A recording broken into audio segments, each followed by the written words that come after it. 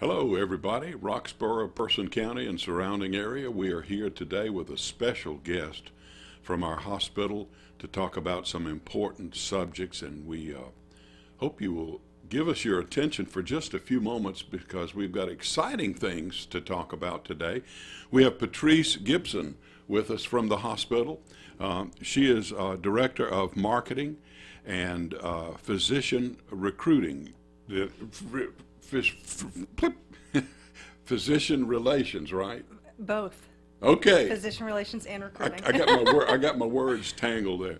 So glad to have you at the studio, and there are so. Oh, first of all, I want to thank you and the hospital uh, for the wonderful health fair that was held on April 23rd. Yes.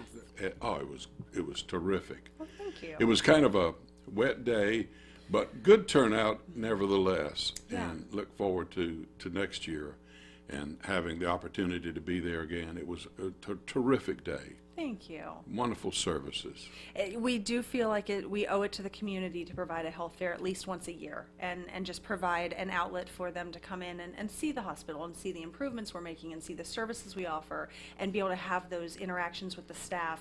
Because sometimes you go to the hospital, you don't necessarily want to go to the hospital. So this gives you a way to go to the hospital and really navigate and learn what we have um, to, if you ever need future services. I'm ashamed of myself. I'll slap myself on the hand. I forgot to wear my button today. Oh. I got a button when I was there for the for the health fair, and it says, "I am making communities healthier." Yes. And that's the word at Person Memorial. That's yeah, that's our mission is making communities healthier. And everything that we do comes back to giving patients great care and making our community healthier. We have so many things we want to share today. This certainly sounds exciting. Mission, vision, high five, and Duke Life Point promise. Quite a few words, but very meaningful. And uh, maybe you could kind of explain uh, about mission, vision, high five, Absolutely. and the promise. Yes, yes. Well, you know, our mission at Person Memorial is making communities healthier, and that everything that we do centers around that. And we want to make sure that we are the type of place that people want to choose to come to get health care, and where people want to work, and where physicians want to practice. We really want to be that. And we have these high five guiding principles, and we do everything where we're guided by delivering excellent patient care and high quality patient care, supporting our physicians, creating an excellent workplace where people want to work, being a leader in the community, and being fiscally responsible. So everything that we do centers around those things, and we feel like if we keep to those things, we know we'll provide excellent patient care, and in the end, we will fulfill our mission of making communities healthier. It is a, a wonderful vision and, and is happening as Yes. we speak It today is, and every yes. Mm-hmm. Uh, those those five principles. Oh my! And uh, we thank uh, we thank the the folks at the hospital for seeing the needs and establishing a vision. And I like the name High Five. Yeah, they- That's that that's such a, a an, an a, a today's term, isn't It it? is. It is. But um, but we feel like those those five things are the biggest, most important things we can do, and the biggest contribution we can make. So I'm going to give you a high five. All right, all right. We love our hospital. We say this all the time, and the care that is very, is very special. And we thank everybody at the hospital for their devotion and their uh, sticking together and working hard, and uh, just appreciate it. Yeah, well, you know that's that's our goal here is to serve this community and make this community healthier. And we want Person County to know that we can serve their needs here in Person County. Yeah. You know, whether it's imaging, whether they need an MRI, whether they need any imaging services, we can provide those services same day, next day. They don't have to go down the road. We have those services right here. If they have GI issues like heartburn or irritable bowel syndrome, we can serve those those needs. So we everything from our imaging and our, our gastrointestinal to our cardiology and our general surgery, eh, pretty much everything you need, we can serve here in Person County. GI does encompass quite a few areas. Elaborate on that a little bit, if you would. You you touched on it already. Yeah. Well, I mean, people usually struggle with either upper GI issues or lower GI issues. Mm-hmm. And so we have person gastroenterology, and our physicians are phenomenal. So we can serve those, everything from, from those needs and those issues that people will be dealing with to whether if they need their annual colonoscopy. Um, you know, colon Sure. cancer is preventable, and if it's caught early, it can really make the difference of someone's life and their longevity of their life. And so, um, yeah. yeah, so uh, colonoscopies are huge. It's it's so important to get that when when you turn 50. Just go and get it. I know it's not the most glamorous experience, but it's so worth it. Yeah. Um, if they if they get in there and they find something.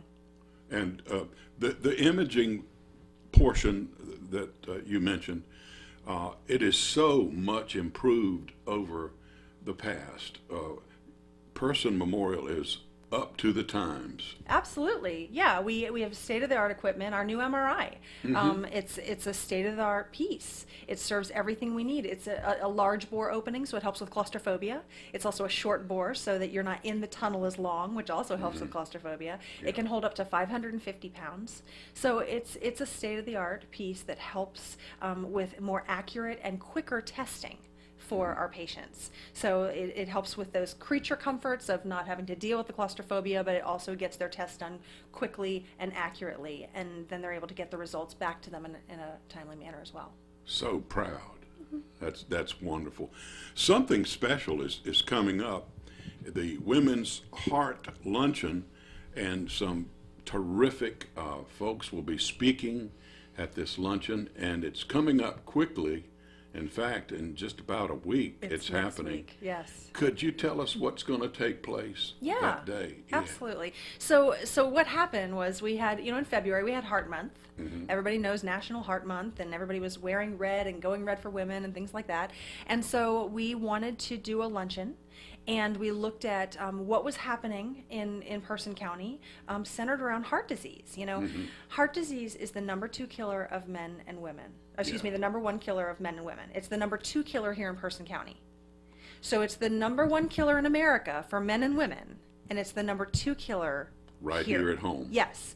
And when I started talking to people in the community about what do we do for Heart Month, what do we do about you know what how do we educate about cardiovascular disease and and heart disease and so forth, and it just didn't really seem like there was a lot going on. There just there wasn't a lot of education. There wasn't a lot that we did in February for Heart Month. And I thought, gosh, we really, the conversation needs to be had. We, we need to start the conversation. We need Person County residents to understand the importance of knowing their risk factors for heart disease, knowing what their modifiable risk factors are of lifestyle, um, and knowing what they can't fix that's hereditary but they need to manage. And it's it's That's such an key word, isn't it? Manage. Absolutely. And so it's it really was a conversation that I felt like needed to happen and we needed to start talking about it because if it's the number 2 killer in Person County, that's a big deal. Yes, it is. That's a big deal. And I know we hear about a lot of other, um, you know, health issues in this county, and, and there's a there's a big emphasis on a lot of other things like cancer. Um, but heart disease is right there with it, and so that's what we we decided we wanted to be our thing. I mean, we have Dr. Tori Bradshaw, our cardiologist, Oh, person love cardiology. her to death. Right? She's Yeah. your she's your cardiologist, right? Yeah. Um, and we just, I, I went to her and I said, listen, I feel like we need to find a way to educate our community and specifically women. And the reason why is because um, heart disease is what's known as a silent killer. Um, and meaning that usually people don't survive a heart attack or a stroke, um, and especially women are usually not survivors because their arteries and veins are smaller, and so it affects them even greater than a man when they have a heart attack or a stroke. And a lot of times they don't they don't have have one and then recover, and they're a survivor.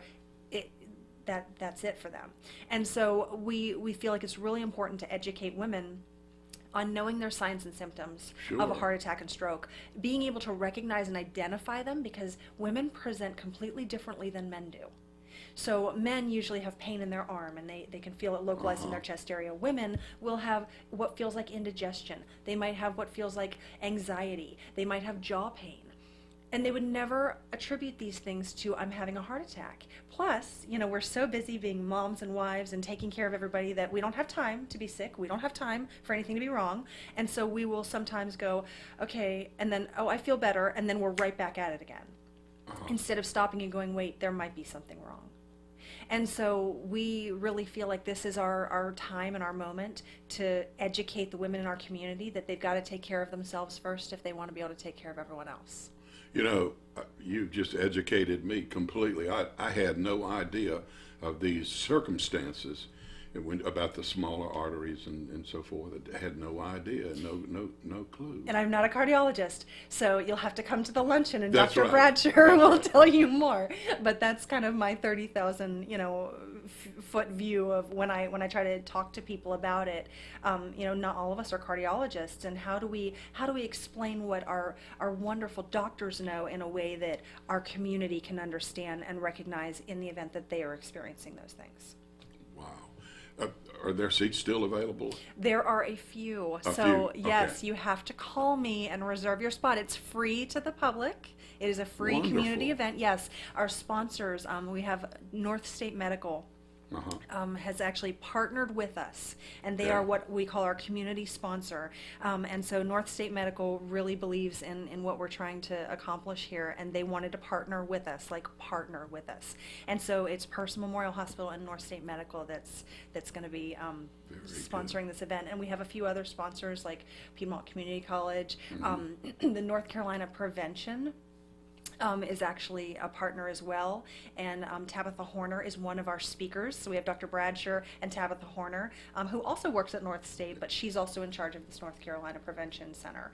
And so that the North Carolina Prevention Center is all about prevention and how do we educate on the prevention side of heart disease and even on diabetes. If someone has diabetes, how does that play in to heart disease? Because a lot of people don't realize the correlation with that. So she will be talking more about that at the luncheon. And um, Dr. Bradshaw will be talking more about the luncheon. So it'll be very educational. It'll be a great event. We're going to have vendors. Um, it's May 16th at the Kirby upstairs, and um, it'll start at 11:30. And we will have vendors that people can um, visit ahead of time. The luncheon will start at noon and be done by one. For the uh, few remaining seats, how what's what's your phone number? to- Yes. Okay. So they're going to call me at 336 Okay. 503 Oh, 503. uh-huh, 503 5799. Okay. 503 5799. I only have about, I would say, 10 seats left. So, and they're first come, first serve. So give me a call and let's get your name on the list if you want to be there. Good, good. Um, we, we, we don't want to leave the interview today without talking about the emergency room and um, the wonderful services, the, the less wait time, and good things are happening. And I, I believe I met um, Dr. Haresh Kuthard. Uh huh. Yes, he's our we- new we- medical we director. want to- We want to uh, interview him too. We're planning on doing that still. Good, good. And uh, he has a lot to do with the emergency room, doesn't it? Absolutely, yeah. Our emergency room is doing an amazing job. Um, yes, we have shorter wait times now. If we're during peak times, Yeah, then of course it's going to be yes. sure. But um, across the board, our wait times are still less than if you went somewhere else. So um, we are very proud of that. Uh, Dr. Cathard is our new medical director of our emergency department, and he is doing a tremendous job. I mean, he's only been there like a month or so, and he's already doing a tremendous job. So um, he has brought improvements, and he's been helping um, to really just take us to the next level and really um, elevate our, our capabilities and, Yeah. and help us grow. Um, and so it's been it's been tremendous. And then that coupled with our chest pain accreditation you know, with the fact that we're chest pain accredited is a Yeah. big deal. And I don't think people understand that. And that also ties into the whole cardiology and the whole heart disease thing, where if you present to the ER with chest pain, we can diagnose and determine whether or not you're having a heart attack and then immediately start providing life saving, um, you know, care. And then if you need elevated care, because of our alliance with Duke, we can get you down to Duke and on the cath table quicker than if you drove yourself down to Duke yourself. Nice, nice.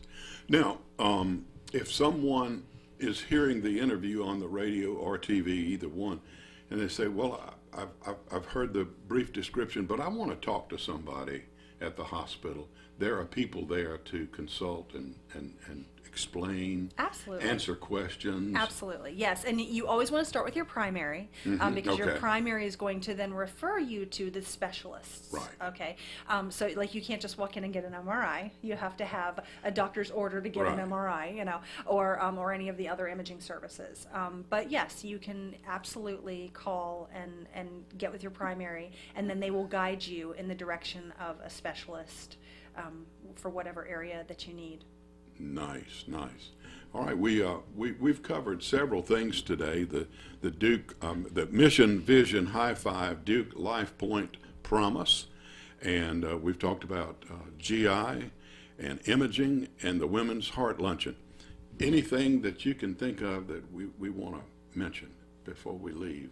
No, it's, I mean, we, that our goal is to help this community and our goal is to make this community healthier. And so anything that we can do to make this community healthier, that is our, that's our number one mission.